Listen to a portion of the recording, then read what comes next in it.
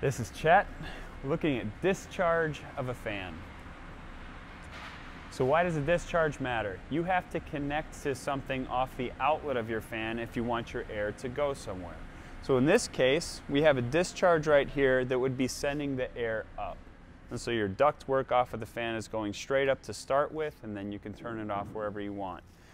So how do you want to specify your discharge for your application? This is the base zero or 360 degree configuration. Is going straight up. This is called an up blast 360 degree discharge. As we move this way with our discharge and rotate it so that the discharge would be pointing out that way, that would be a 90 degree discharge.